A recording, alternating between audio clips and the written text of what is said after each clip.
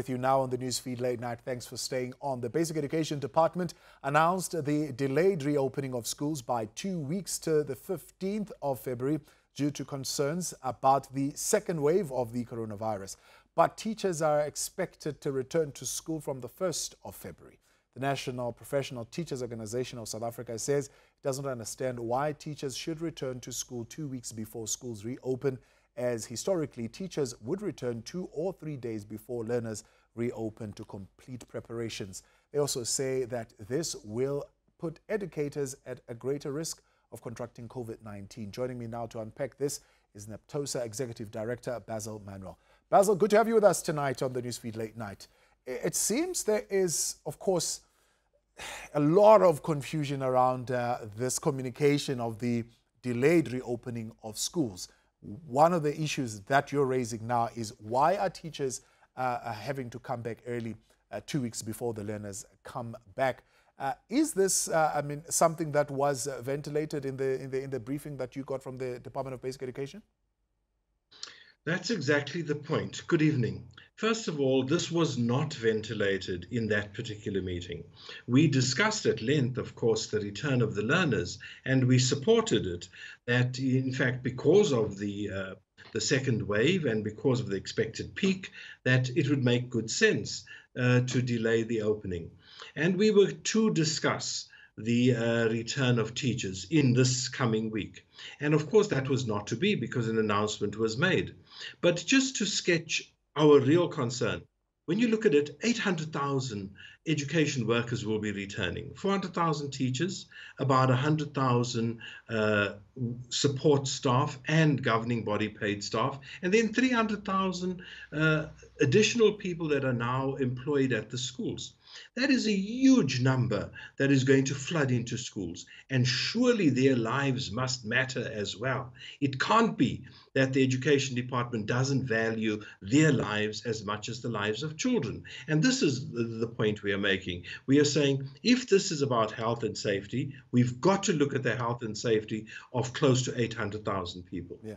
And that is would would be a direct contradiction, isn't it? So you're saying 800,000 people will now be going back and forth because they're saying the reason is is largely because they want to reduce the movement of people. Now you would be allowing 800,000 people to move two weeks even before the schools reopen. What what would be the benefit of that if it's not as opposed to get the teachers to the schools to to to, to make preparations uh, for for for learners to return? Under the, the stricter protocols? This is exactly what we are saying. We are saying uh, it is part of the school dynamic, part of the DNA of schools to ensure that preparations are done the year before so that when we get to school the first day of school, things are ready. Now, that having been done, what are what is going to happen at school? Besides thousands of people using public transport, thousands of people getting to school, and probably clustering. And because if you have nothing to do, people start sitting around, they become comfortable with one another. We haven't seen one another, and that's where the inherent danger lies. And we are asking what exactly is the rationale? What has informed this? If it is only simply just the view that is, oh, the people are being paid, they must be at school. We are saying we are not opposed to people being at school. In fact, we wanted schools to open when they were originally scheduled. But health and safety has determined otherwise. And that is why we are saying let's take into account the health and safety of everybody, not paying lip service to it, but showing the teachers and the education workers at large that we have to consider their health and safety as well. Yeah. I mean, judging from what you're saying, are you suspecting that it's just purely a ticket uh, clocking exercise? That, well, look, you're on a ticket, uh, you're being paid, so you've got to show your face and at least uh, tick on that timeline. Absolutely. That that is the only logical explanation that there can be. There's nothing else. But I will tell you, we had a meeting today and I cannot see that this will be changing. But tomorrow we will be submitting as unions uh, our memorandum about this because we had waited for today's meeting. And um, but the the attitudes were not that we will be meeting one another halfway. The attitudes appeared to be one that says, this is a decision made and this is how we're going to run with it, come hell or high water. Yeah. What is the conversation around those meetings that you're having on the prioritization of uh, uh, teachers as uh, essential service uh, so they can uh, come up in terms of the list and be on the phase one of the rollout of the vaccines?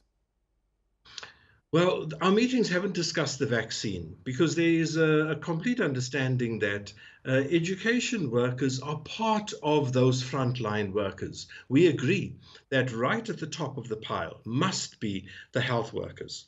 However, given the exposure teachers have, and as we heard Professor Karim say even this evening, that this particular strain of the, this virus is highly transmissible. And uh, we then see teachers as a particularly, uh, uh, in a particularly dangerous situation. And that is why we want to see them right at the top. And I think there's general buy in for that. Um, we just need to know how exactly the, the, the, the vaccine is going to roll out. I don't think any of us know.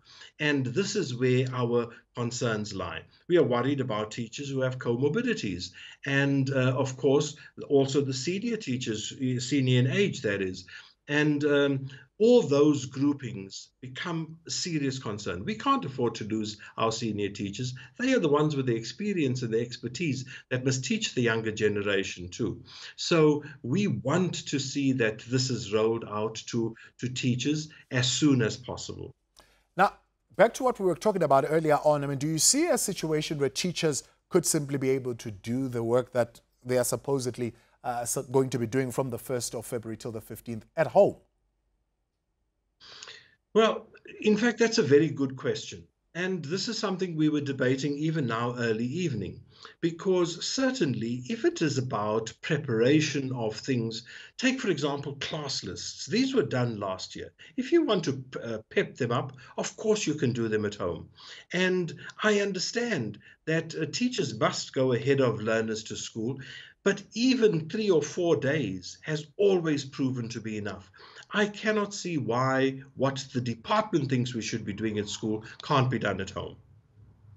You're talking here at, a teacher load and a teacher allocation that probably is not um, the same to what you're used to because of the uh, various dynamics that comes with COVID-19. Other learners probably attending on a Monday, Wednesday, and a Thursday, others coming on a Tuesday. And, and therefore, there are a lot of movable parts here. Uh, is this work that teachers will be able to, to, to do at home without having to, to report at school? I think that um, the dynamics of planning for that, we've gone through a year where we've had that, and I think uh, most schools have now settled into a method of doing this. Insofar as sitting down and, and linking siblings so that when parents bring children to school, they don't come every day, they come uh, on those alternate days because the siblings have been grouped. That is stuff that you are sitting and doing around a table, and you can jolly well do it uh, at a, uh, in, in your home. And what we are saying is that we've got to be reasonable, not only with teachers, but education workers as well. When once that building has been cleaned, what is it that we want those many, many people to do? Uh, grass has been cut, etc. Are they really going to be sitting around all this time? And that is when you start having unnecessary absenteeism and you have disciplinary issues that aren't really disciplinary issues. And that is what we are appealing for good common sense. There are concerns, finally, uh, Basil, before I let you go, that uh, because of uh, the rate of infection, but not only that, the, the rate of, of deaths in, in, in the country, we might be facing severe teacher shortages in 2021. What's your view? Absolutely. And not uh, so much shortages of, of the, the sheer number, but shortages in, in your specialist subjects. You think about the junior primary and you think about grade one teachers. Some people think that they just pop up all over the show. That's not true. You know, very often we focus on the high flying subjects like maths and science, and, and we should. Because if you lose a maths teacher out in the rural area, do you really think you're going to get a maths teacher by tomorrow? Hardly likely. And so too with physics. And that starts changing the school dynamic. They suddenly start offering a more basic curriculum and that robs children of an opportunity. So, yes, there are major issues that lie ahead. If you think of the fact that we've lost between 1,750 and 2,000 teachers, and they have to be replaced, some of them in very, very specialist areas, we can see a problem on looming on the horizon. Add to that the normal retirements, the normal uh, uh, resignations, and so on that are still happening. And then you end up with a very, very large number of teachers that are exiting the system.